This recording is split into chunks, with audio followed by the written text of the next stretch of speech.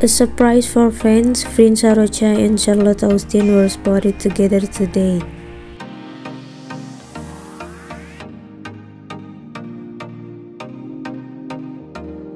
In this meeting, the two of them together with singer Namjoon. Are we expecting a cover of song?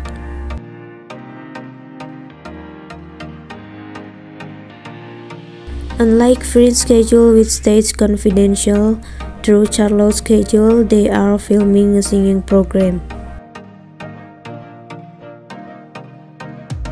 In the moments they shared, they look close to each other.